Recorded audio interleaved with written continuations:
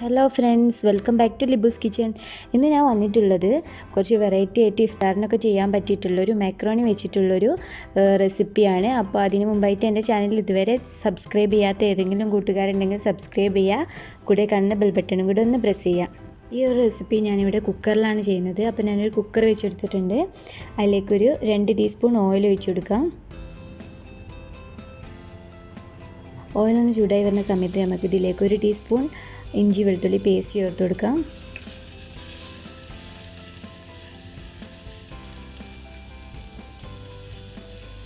ഇതിന്റെ ഒരു പച്ചമണം മാറുന്ന സമയത്ത് നമുക്ക് ഇതിലേക്ക് ഒരു ചെറിയ കഷ്ണം വലിയുള്ളി ചേർത്ത് കൊടുക്കാം. ഇതിലേക്ക് തന്നെ ഒരു പച്ചമുളകും ചേർത്ത് കൊടുക്കുന്നുണ്ട്. അപ്പോൾ പച്ചമുളകിന്റെ എണ്ണത്തിൽ വേണമെങ്കിൽ നിങ്ങൾക്ക് മാറ്റം വരുത്താം എരിവിനനുസരിച്ചിട്ട്. ഇത് നന്നായിട്ടൊന്ന് വഴറ്റിയെടുക്കാം.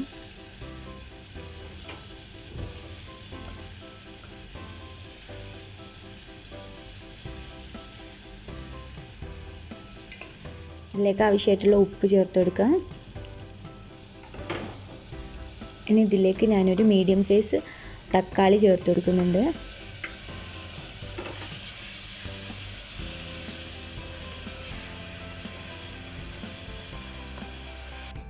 ഇപ്പം നമ്മുടെ തക്കാളി നന്നായി വയന്ന് വന്നിട്ടുണ്ട്. ഇനി ഇതിലേക്ക് ചേർത്ത് കൊടുക്കുന്നത് നമ്മുടെ ചിക്കനാണ് ഒരു ഇരുന്നൂറ്റമ്പത് ഗ്രാം ചിക്കനാണ് ഞാൻ ഇതിൽ ചേർത്ത് കൊടുക്കുന്നത്. അപ്പോൾ ഇത് ചിക്കൻ വെച്ചിട്ട് മാത്രമല്ല നമുക്ക് ബീഫ് വെച്ചിട്ടും ചെയ്യാം. ബീഫ് വെച്ച് ചെയ്യുമ്പം കുറച്ചും കൂടി ടേസ്റ്റ് കൂടും. ഇനി ഇതിലേക്ക് ആവശ്യമായിട്ടുള്ള പൊടികൾ ഓരോന്നായിട്ട് ചേർത്ത് കൊടുക്കാം. ഒന്നര ടീസ്പൂൺ മല്ലിപ്പൊടി.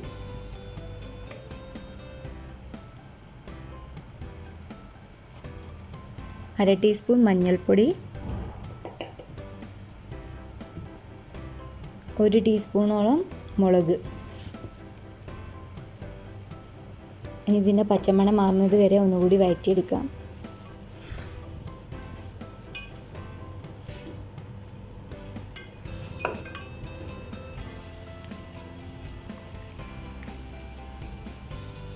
ഇനി ഇതിലേക്ക് ഞാൻ മാക്രോണിയാണ് ചേർത്ത് കൊടുക്കുന്നത്. ഞാനിവിടെ ഒരു കപ്പ് മാക്രോണിയാണ് എടുത്തിട്ടുള്ളത്. ഇതും കൂടി ചേർത്ത് നന്നായിട്ടൊന്നും കൂടി മിക്സ് ചെയ്തെടുക്കാം.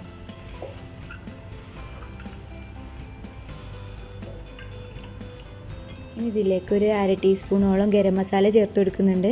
അപ്പോൾ എന്നോട് നേരത്തെ ചേർത്ത് കൊടുക്കാൻ വിട്ടുപോയതാണ്. ഇനി നമുക്ക് ഇതിലേക്ക് ആവശ്യത്തിനുള്ള വെള്ളം ഒഴിച്ചു കൊടുക്കാം.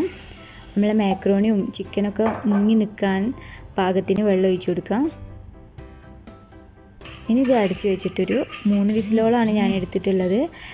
ഓരോരുത്തരെയും മാക്രോണിന്റെ വേവ് അനുസരിച്ചിട്ടും ചിക്കന്റെ വേവ് അനുസരിച്ചിട്ടൊക്കെ നിൽക്കും വിസിൽ അപ്പോൾ എനിക്കിത് വെന്തിട്ട മൂന്ന് വിസിലാണ് എടുത്തിട്ടുള്ളത്. ഇനി ഇത് വെന്ത് വരുന്ന സമയം കൊണ്ട് നമുക്ക് ഇതിലേക്കുള്ള അരപ്പ് തയ്യാറാക്കാം. അതിന് വേണ്ടിയിട്ട് ഞാനിവിടെ എടുത്തിട്ടുള്ളത് ഒരു അരക്കപ്പോളം തേങ്ങയാണ്. ഇതിലേക്കൊരു ടീസ്പൂണോളം വലിയ ജീരകം ചേർത്തെടുത്തിട്ടുണ്ട് ഒരു നാലഞ്ച് ചെറിയുള്ളി രണ്ട് ഏലക്ക. ഇവ ചേർത്തിട്ട് നമുക്ക് നന്നായിട്ടൊന്ന് അരിച്ചെടുക്കാം.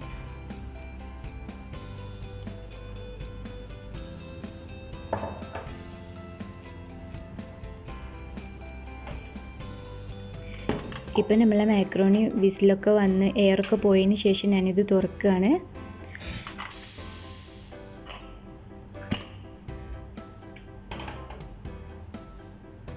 എല്ലാം നല്ലപോലെ വെന്ത് വന്നിട്ടുണ്ട്. ഇനി ഇതിലേക്ക് നമ്മൾ തേങ്ങ അരപ്പ് ഇതിലേക്ക് ചേർത്ത് കൊടുക്കാം.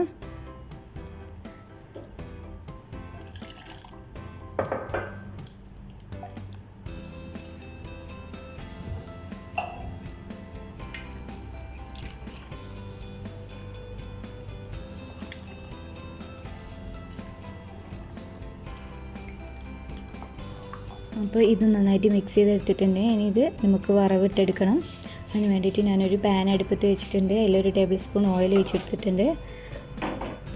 ഇതൊന്ന് ചൂടായി വരുന്ന സമയത്ത് ഇതിലേക്ക് ഒരു ടീസ്പൂണോളം കടുക് ഇട്ട് കൊടുക്കാം.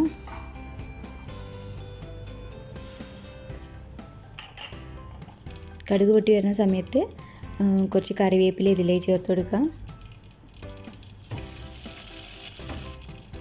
ഈ നേരത്തെ നമ്മൾ എടുത്ത് വെച്ചിട്ടുള്ള മാക്രോണി ഇതിലേക്ക് ചേർത്ത് കൊടുക്കാം